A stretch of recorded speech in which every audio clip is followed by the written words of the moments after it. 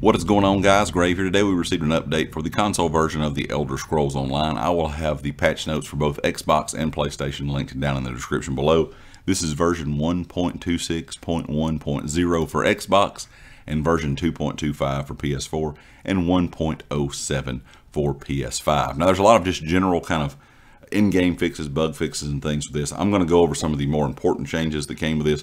The first thing is the Leyawiin wall uh, furnishing plan or the castle furnishing plan could very rarely be obtained from general sources like pickpocketing and containers. Uh, of course, is supposed to be uh, coming from the Leyawiin reward coffer.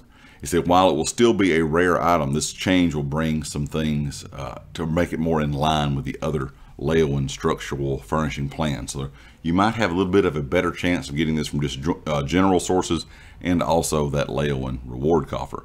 They did a few changes to Asylum Sanctorium, kind of that one fight with the cording bolts. They will now always fire regardless of the range of the target. The oppressive bolts will also now display an interruptible telegraph.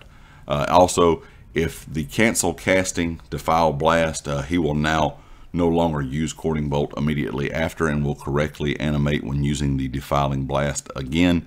Also, they fixed the Oblivion Portal achievement. It will now track, uh, track correctly your character will no longer get stuck in combat while wandering in the Deadlands. Companions will no longer be visible in Fargrave to add or to aid in improving performance throughout the area. I'm kind of hoping they are tweaking this idea and they may start making it so some people's companions or companions in general are not seen in some very crowded areas because I think that is one big problem uh, for all platforms when it comes to lag and things, uh, you know, in areas where there's a lot of people having tons of players and tons of companions running around uh, kind of messes up, uh, I think, the server sometimes. So hopefully, if this runs smoothly with this idea that they're using right now uh, for the uh, making them no longer visible in Fargrave, maybe this will work as well in some areas, like if you're doing your crafting and stuff of that uh, of that nature in the mornings or in, during the afternoon or the evenings when everybody's out. Uh, one good example you know, would be some of the more populated areas. Uh, that could be maybe implemented for those as well down the road. They fixed a few issues with some of the quest not tracking correctly. Also, uh, they fixed an issue where some bookshelves were not properly working in your home. They fixed an issue with the quest to not advance while following uh, things in illusions of grandeur. Also, they fixed a issue where joining or leaving a group could cause a unsummoned pet uh, to have issues as well. They fixed an, uh, the issue where permanent source of major and minor evasion could be removed after death. Uh, the mist form got a fix today. They fixed an issue where the ability's damage reduction did not work against all incoming player attacks. They fixed an issue where you could not save or equip certain armory builds while a disguise was equipped. They also fixed an issue where displaying the total champion points spent was only including two of the three disciplines in the armory.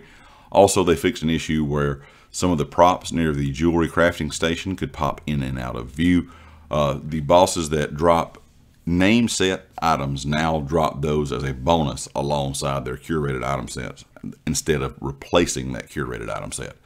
So if you're going to get a named item from a boss, you will get that named item plus a curated item as well. They fixed the crash when you're getting disconnected or logging out while in the antiquity excavation screen.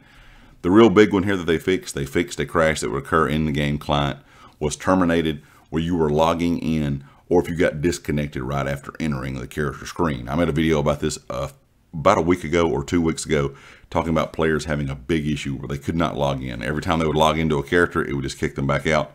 Hopefully that is resolved now. They also fixed a crash that could occur when certain special characters were used in specific locations in the, uh, in the guild message of the day and the profanity filter was enabled so that should be working correctly as well now. Anyway guys, that's pretty much it for this update. Like I said, if you want to read over these patch notes uh, in their entirety, they will be linked down in the description below. Leave me a comment with your thoughts and of course if you like the video, hit the like. If you have not subscribed yet, please do so. Be sure to check out everything down in the description, the community Discord, my Twitter, and of course the affiliates here on the channel. Empire Jerky, and Amazon Associates. Also, check out the merch store that is linked in the description as well. And I'll catch you all next time. Peace.